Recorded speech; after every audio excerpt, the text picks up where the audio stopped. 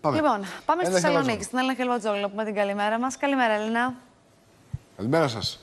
Καλημέρα από Θεσσαλονίκη. Αυτή την ώρα έχουμε 14 βαθμούς Κελσίου. Ναι. Θα φτάσουμε μέχρι και τους 21. Εντάξει, τσιμπάει λίγο είναι η αλήθεια. Έτσι. Παρ' όλα αυτά είναι Παρασκευή. Οπότε Γι' αυτό είναι έβαλες όλα τα. πιο Οπότε Γι' είναι αυτό όλα έβαλες καλύτερα, Τα παιδιά. άστα σου, τα Ε. πουά σου κτλ. Λέει παιδιά, Παρασκευή είναι. να Είναι το- Παρασκευή ε, και δεν να μπορεί να μας το πάρει να κανένας, απολαύσουμε. λένε. Σωστά, Έτσι σωστά. είναι. Λοιπόν. Με βροχή χωρί. Λοιπόν, για πάμε να Πάμε δούμε να τώρα τι ξεκινήσουμε με γίνεται το στη Θεσσαλονίκη. Αριστοτέλειο. Ναι, γιατί φαίνεται, Έλενα, ότι βρήκανε, με- βρέθηκαν μέσα στα πυθίτα 7 βόμβες Μολότοφ. Επτά συνολικά βόμβες Μολότοφ εντοπίστηκαν χθες στη Σχολή Θετικών Επιστημών στο Αριστοτέλειο Πανεπιστήμιο Θεσσαλονίκης.